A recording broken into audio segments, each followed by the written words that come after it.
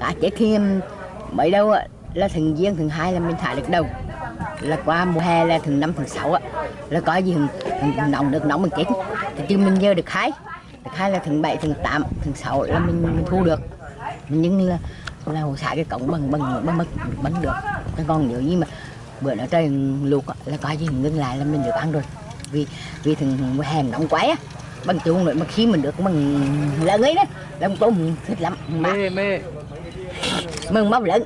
À, bây tiên như hồ không biết có hồ xả cái cổng ra tung. Mà cơ chí á mà tung đi mà con đung ruộng á là mấy mấy mẹ là không có ý kiến. Vì hồ đung ruộng nhiều hồ cắt chưa được mà bên hồ cắt được hết rồi. Hồ cắt khi hết tháng bảy cuối tháng bảy hồ đã cắt hết rồi mà đây. Mùng hai tháng tám hồ mới báo.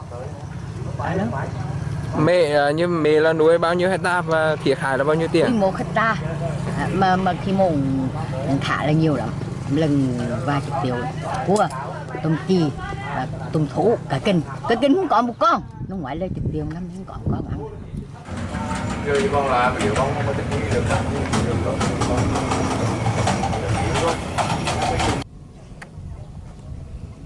ăn ăn ăn đồ, đồ bỏ xuống đấy cho cái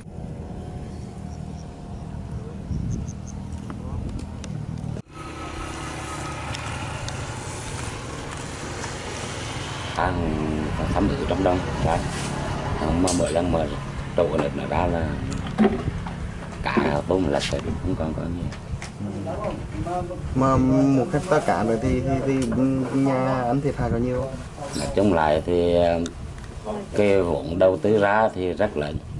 Nhưng mà trong thời gian quá trình chuẩn bị thu hoạch qua đợt hai thì tôm cá rất nhiều chỉ ước lượng thấp nhất là phải hai chục triệu một hecta.